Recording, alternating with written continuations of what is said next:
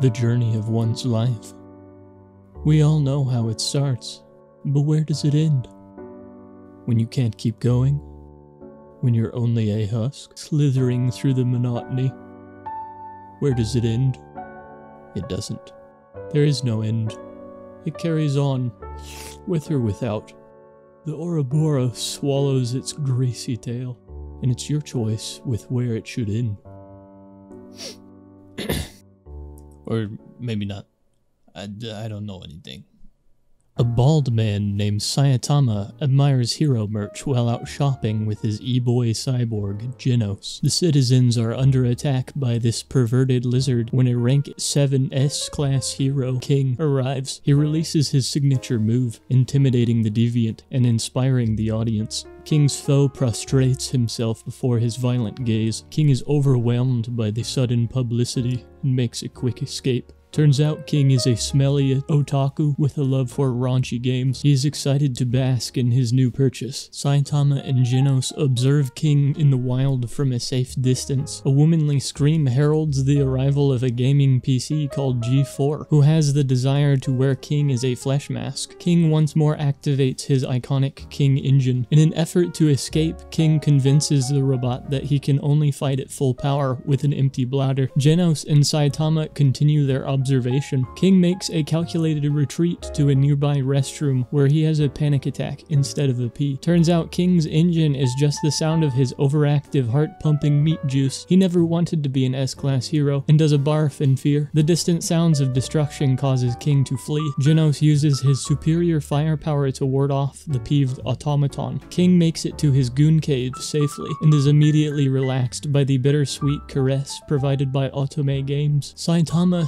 into King's room on the 22nd floor while no one was watching. King makes a persuasion attempt but fails, then rolls for intimidation and also fails. Saitama is suspicious of King's taste in games. Saitama uses his conversational dominance to persuade him into playing a fighting game. The robot is turned into soup, then gives birth. Saitama admires King's gamer skills, then questions his decision to retreat from battle. King spills his orange juice all over the floor in a panic. A colossal bird reduces the apartment to rubble while King reflects on his bad luck. It turns out that King's success as an S-class hero is all due to Saitama's efficacy in dispatching monsters. Genos uses the power of science and overwhelming destructive force to deliver justice. Saitama learns the truth about King and obliterates the bird. King realizes Saitama's power and recalls the time when they first met. He cries manly tears and apologizes to Saitama, who takes the news well and even gives him advice on getting stronger. Saitama flutters away, leaving King alone to his various rocks, metal piping, and internal demons. Genos harvests the Cadbury robot's tender insides for nutrients. His general practitioner is concerned about Genos' recent obsession with power and reminds him of his quest for vengeance. Genos remains determined. Sitch, the Hero Association's head of HR, encourages a gathering of the chronically unemployed to help exterminate monsters. He brought a magician, a deranged pyromaniac, and buff Waluigi to be his security, and is confident in their strength. Sonic is lurking in the crowd,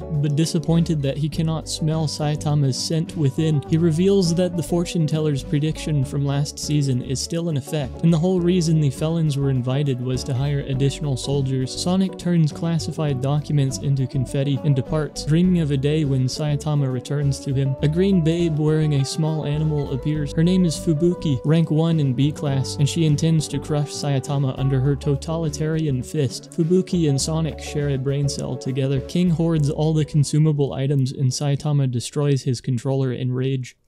Sitch tries to explain the severity of the Hero Association's situation, but has no control over the room. Garou, Bang's rogue student, introduces himself, insults the delinquents, and urges them to publicly execute him. Sitch sicks his guardians onto Garou, who dispatches David Blaine and Big Waluigi. Garou finds solace in the practice of monster philosophy, and explains that he himself was a monster all along. He then steals a wizard's hand, kills everyone everyone, proclaims he is the prophesized harbinger of destruction, and pieces out. Fubuki is on the prowl for Saitama. Genos wears a cute apron and lectures Saitama on not reporting his quarry to the association. Genos senses a threat. Saitama senses an item in his game. Sonic falls from the sky and declares himself to be Saitama's lover. Genos calls Sonic out for being a freaky stalker. Meanwhile, Saitama accidentally overwrites King's save data. Fubuki sends one of her cronies to extract Saitama from his house. She introduces herself, but Saitama is still confused. She is enraged. Fubuki reveals that she is the Fuhrer of a B-class authoritarian regime, and that Saitama must swear fealty to her or suffer her wrath. Saitama deflects her subtle threats and realizes that she is just a bully. He wants none of that business and says no. Fubuki unleashes her zealots, who are instantly defeated. Fubuki takes matters into her own hands and throws sand at One Punch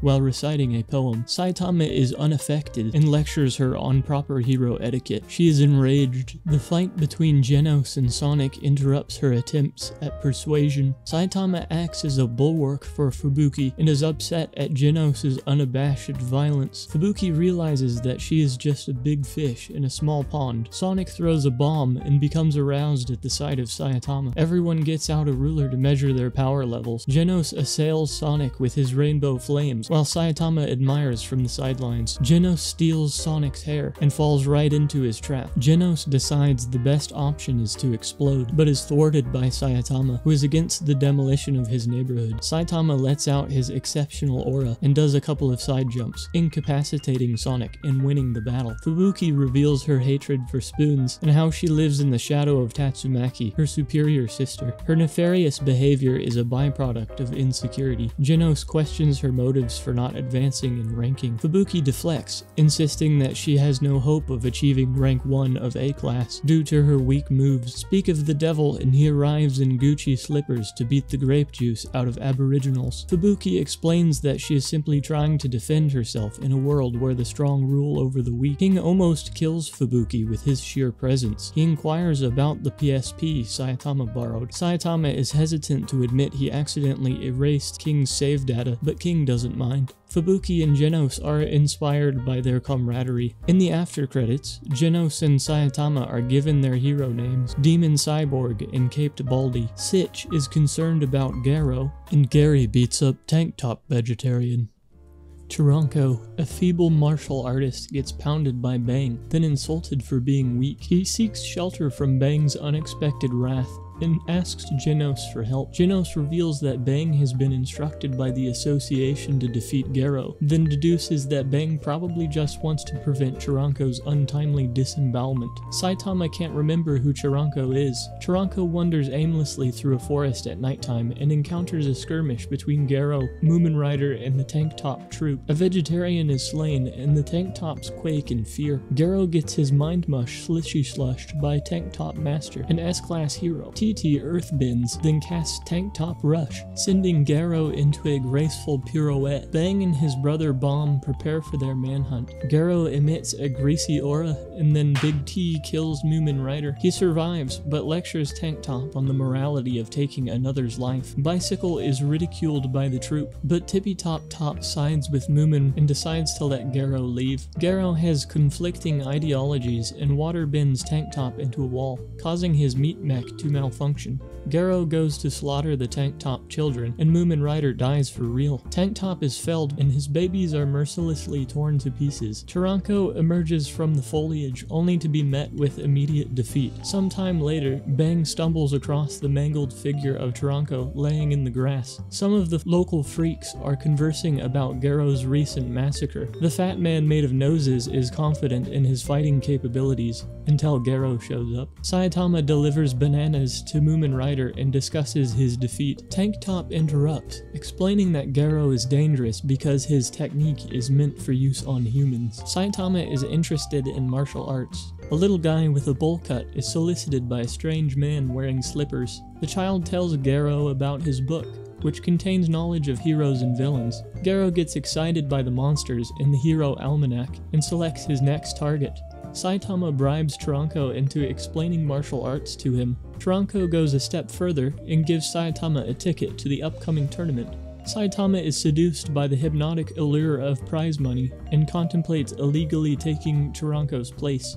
Garou starts a fight with Golden Ball. They do it in the alleyway. GB uses his special balls. They are ineffective. Spring Mustachio bounds into action to defend his precious ball. He admits an impressive fluorescent tomboy, but is parried. Golden Ball flees with Springo's husk in tow. A pervy old man who happens to be the director of the Hero Association is concussed by Garou. Saitama runs into Garou while shopping. Garou naturally assumes Saitama is an enemy and goes for the kill. Saitama destroys Garou, mistaking him for a rogue schizophrenic, and purchases an orange wig. Genos is given the wrong idea about Saitama's purchase and tries to schedule an emergency hair transplant for him. Garou wakes up on a pile of refuse, covered in wounds from the night before. The Hero Association's roundtable discusses Garou. He is deranged. King is requested to be a bigwig's bodyguard, but declines. Metal Bat picks up King's slack. The wealthy elite get to experience peasant food and break the sacred rules of Kaiten Zushi.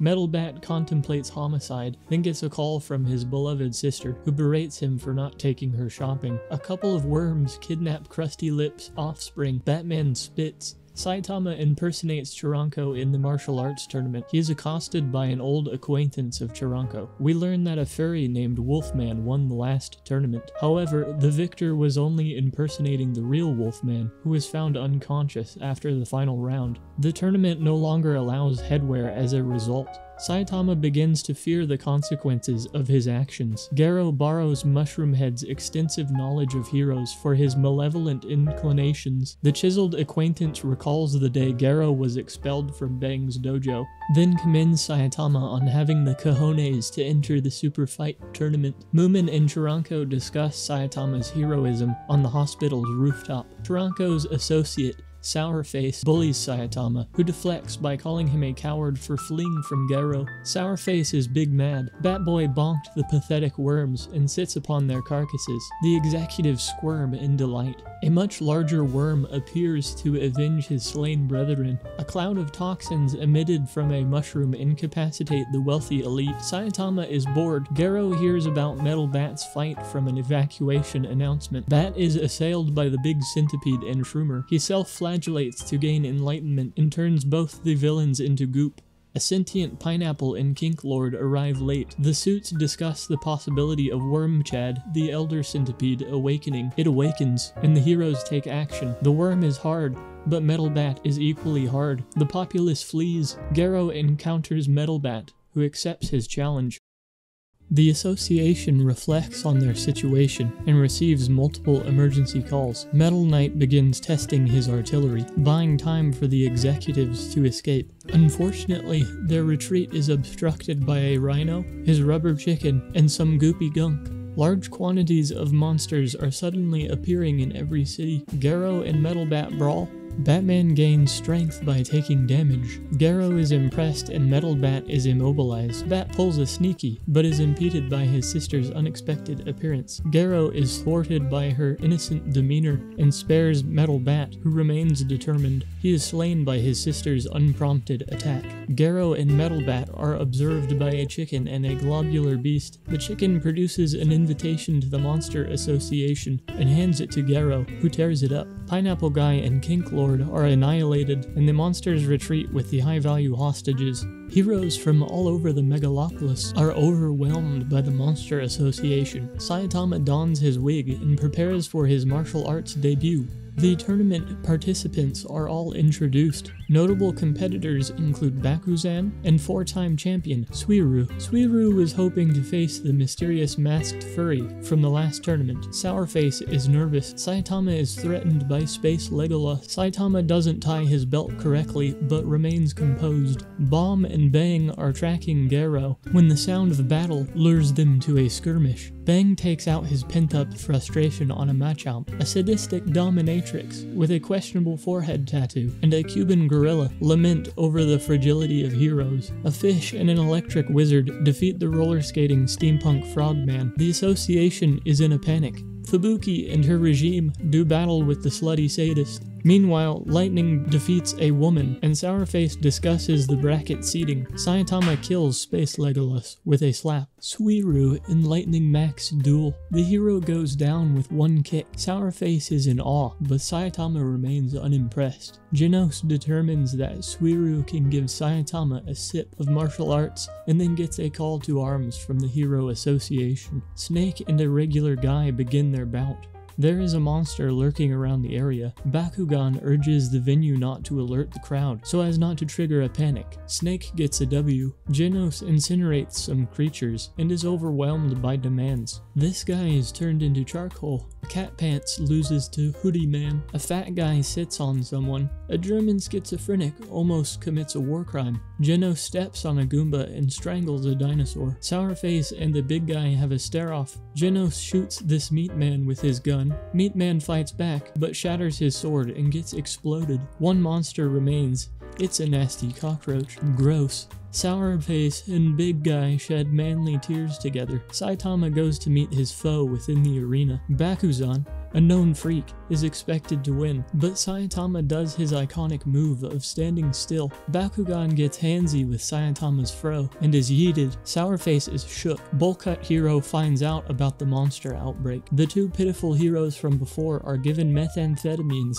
and report that their charge, Wango Banana, was captured by monsters. The suits are afraid of their primary investor dropping out. Genos is in combat with the Roachman, who moves with significant speed. Genos releases his secret juice and incinerates the filthy roach, leaving only his crusty leggies behind. A new threat approaches. Fubuki's goons are under the effects of Super Slut's mind control. She gets whipped from behind and uses her superior willpower to break free from the dominatrix's mental grasp. Fubuki's dress is just as strong as her willpower. Tatsumaki senses Fubuki's injuries and mercilessly dispatches the Fubuki fan club. Tatsumaki flies away into the distance. Snake feels weak and useless during his fight with Suiryu. They converse. Squirrel admits to being naturally gifted and brags about not training for a few years. Suiryu is so good at martial arts, he hits Snape in the feelings. The hospital and prison are under attack while Suiryu monologues about how only the strong should survive. Snake is killed. Saitama está poopin'. A pink fella brags about their masterful victories to his big veiny dad, whose name is Monster King Orochi. Sourface is defeated by Saitama. There are only four competitors remaining. Saitama is almost caught by Sourface, who warns him about the schizophrenic. Garou targets a furry, but is interrupted by a horde of monsters. A talking dog experiences nirvana and explodes. Centaur flavor Drive Knight slaughters pleb, and so too does Amai Mask. Medusa finds a child hiding behind a rock, but is eaten whole by a corpulent gourmandizer. The schizo named Chose monologues about being part of some kind of master race and being on a quest to eradicate a specific subgroup of peoples. Saitama proves that he is the faster racer. A moldy lettuce and a few gimps went to take on the purple octopus, but an S-class hero called Flashy Flash steals their quarry. Tatsumaki turns the octopus into a sphere and berates Flasher and crew for trying to help. The lettuce laments his inadequacy. There is a gathering of old men discussing Bang's pursuit of Gero. Atomic Samurai feels that it should be up to their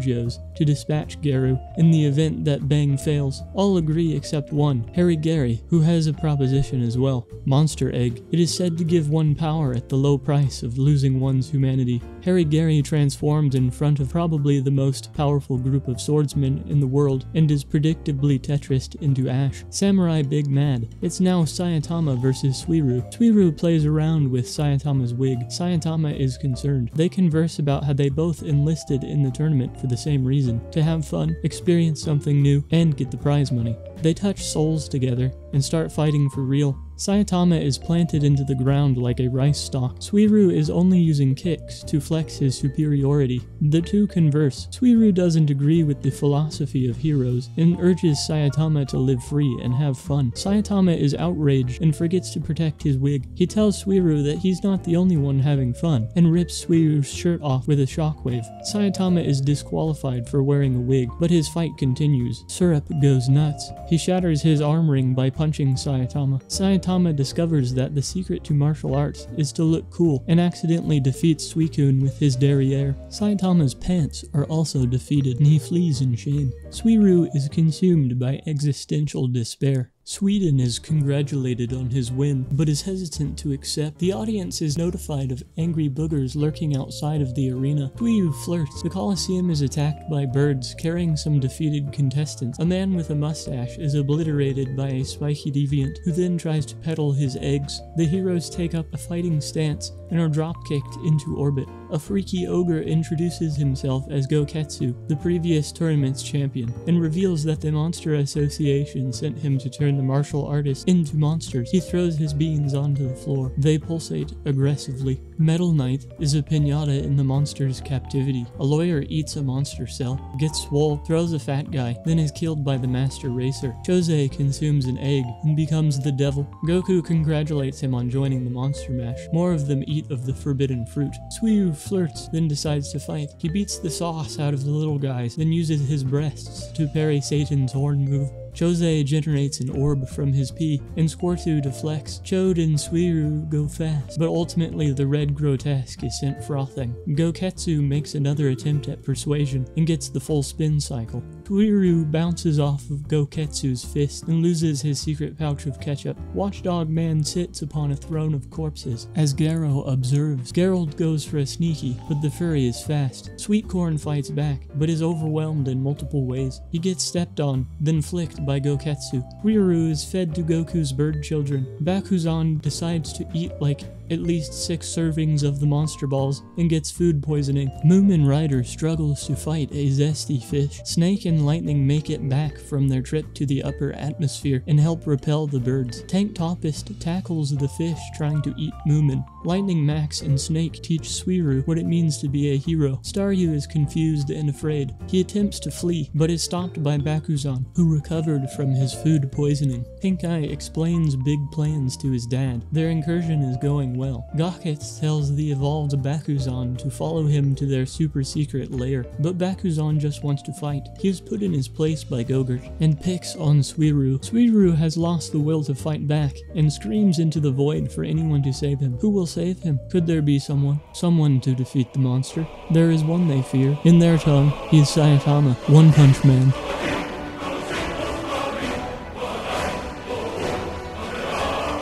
Bakistan is intimidated by One Punch Man, but self-motivates. Saitama becomes aware of his tardiness, but remains stoic. Saitama can't remember where he had seen Bucket Tan before, and does a magic trick. Suiryu thanks Saitama for saving him, and they discuss their circumstances. Saitama was just bored. Suiryu informs One Punch Man of the Monster Association's plot and points him in the direction of Goketsu, warning Saitama of his strength. Genos flutters by in a wheelchair, reflecting on his previous defeat by Goketsu. Saitama goes to punch the monster. Squirt tries to stop his precious bald savior, but his feeble hands could not grasp. He grieves and weeps in sorrow. Head Suiryu is inspired and asks to be Saitama's disciple. He is instantly and unwaveringly rejected. Puri Puri Prisoner is countered by a hedgehog. He uses the power of love to defeat his foe. A phone is retrieved from his prison pocket. Upsetting news. All his fellow inmates turned into monsters and escape. Saitama wanders around and has an existential crisis. He reflects on why he became a hero, but begins to believe he has gained nothing by continuing to be one. King arrives in disguise as a plot device to relieve Saitama from his woes. Saitama confesses his emptiness and boredom to King, stating that his strength has only made him lonely and directionless. King is frustrated by Saitama's lack of initiative and tells him that he needs to open new paths for himself rather than dwell on his boredom. That Saitama's strength is not the end of his life's journey. He has forgotten that to be a hero means being courageous and taking action for the sake of others rather than simply just for fun. And in that respect, Saitama still has strength to obtain. King's internal monologue reveals that he learned that from a manga. Saitama is inspired, but still feels empty. The two walk together and talk about games. Garou was overpowered by the Fury and is reflecting on his battle when he encounters King and Saitama being homies. He springs into action, predicting every possible move King could make, but ricochets off Saitama's foot and into a nearby wall. Saitama tells King about his fascination with hero hunter Garou. Sonic the Hedgehog is approached by survivors of his village, urging him to join the Monster Association and rule the world. They proposition him with a quivering globule. Sonic contemplates throwing away his humanity to scoot his high chair closer to Saitama. Headquarters is concerned about the Cuban gorilla and sends the rank 8 Class S hero Zombie Man. Two gorillas recreate that one Spider-Man meme. Cuban gorilla gets laid out by Cyborg gorilla, and Zombie Guy changes target. Bang and Bomb synchronize on a rooftop and discuss Garou. The Hero Association receives information revealing that the location of the monster's base is in City Z. Sitch believes that the monsters must have some kind of motive if they are intelligent enough to work in groups, and suggests that they may be able to talk things over. A little worm bursts out of one of the suits Sonic attempts to make his egg more appetizing and is aroused.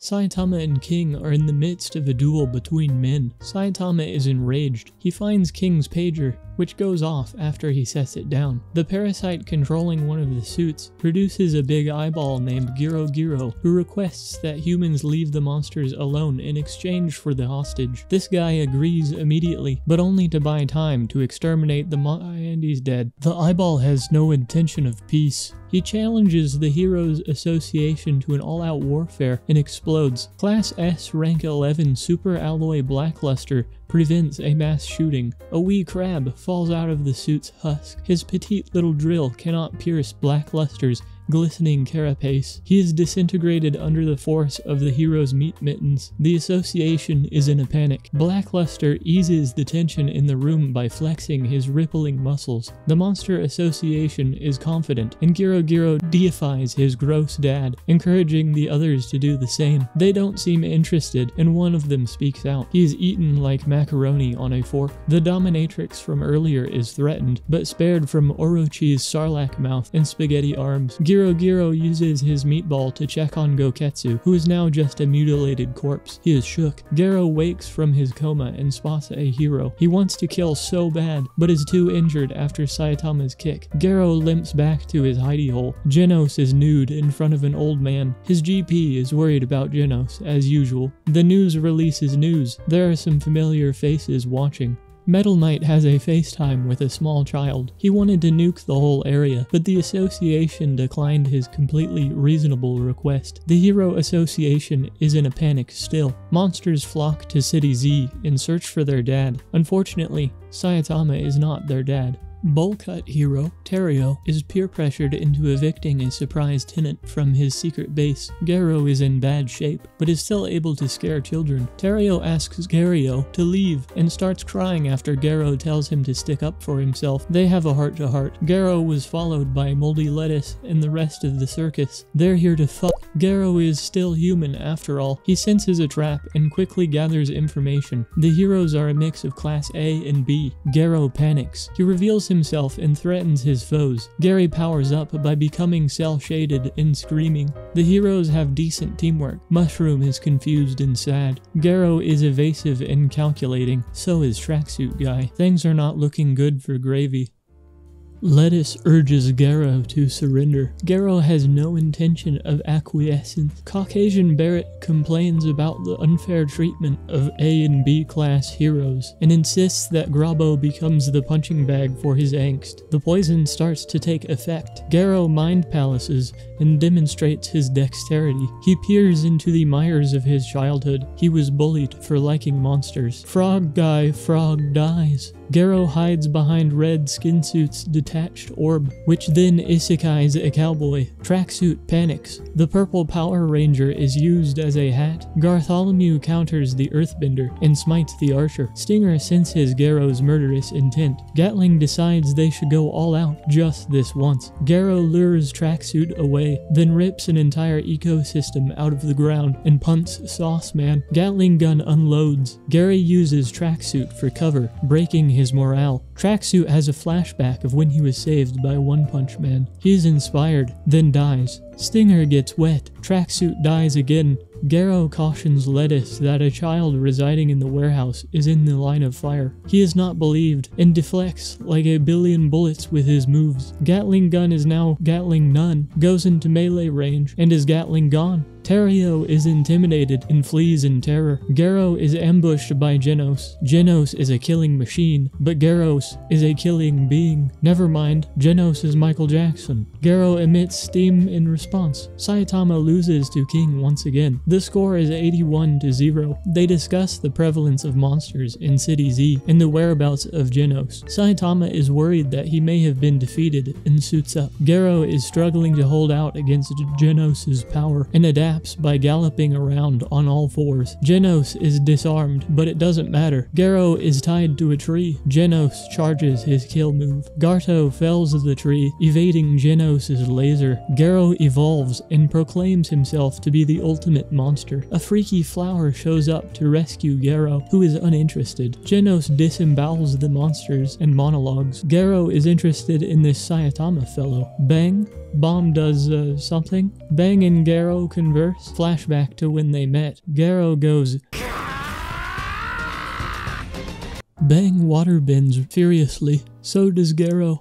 Bang is wetter and launches Garou through the foliage. Garou begins to lose consciousness, then returns to quadruped and undulates around. Garou becomes one with the grape juice. A big parrot monologues through the air. He is the rescue mission's commander and fears the gaping maw of his big veiny dad. Bang and Bomb go for the kill. Garou has a schizophrenic episode and relives his trauma. He is bestowed the gift of wrath by the shadow people. One of them is an authoritative dinosaur. Garou is distressed. His imaginary clone midget homunculus is beat up by the fogmen. Small Garou sticks up for himself and is punished. His sense of justice is forever disfigured. Garou's psychotic experience gives him inspiration, and he screams so hard the ground flees in terror. The varicolored seagull blows some wind and extracts Garou. Genos takes aim with his cannon. The resulting blast is intercepted by the big worm from several episodes ago. The triple tripod trio take to the skies, evacuating the fallen. Garou is enraged. The bird reassures him that the situation is all going to plan, and that Grandpapa Chatipede will clean things up. Garou writhes in frustration, for his prey was taken from him. Big Worm's weaknesses are revealed. Small girls, mechs, king, and blast. However, on the battlefield, there are none of said foils to be found. The triple threat trifecta form a phalanx of friendship. They work together to shoot an armor-piercing round. Genos admires their unity. The big worm is big mad. Its fall off, then it regurgitates a spare face. The heroes are shook. Genos proposes that he be eaten by the worm, while the geezers flee. They don't agree with him, and his general practitioner astrally projects himself into Genos' mind. He doesn't care and goes roller skating. Bang does a holler. Genos goes for the eyes, gets his foot ate, is grasped by a tentacle, then cut in twain. He mighty morphs back together, then launches himself into the big worm. Genos is all gooped up and gives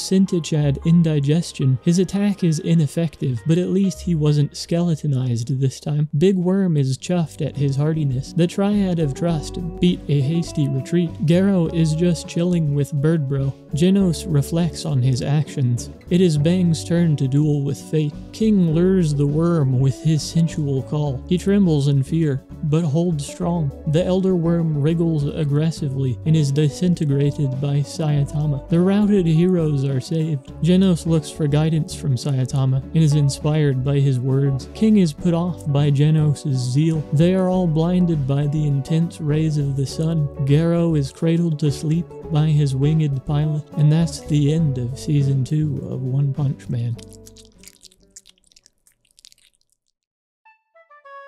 Hey. Uh, like and comment if you enjoyed the video.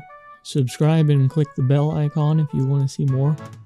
And uh, sign up to my Patreon if you have expendable income or have fallen in love with me. Sorry for the gross title and thumbnail. I'm trying to squirm my way through the uh, refuse to get Algorithm Senpai to notice me. Uh, okay, bye.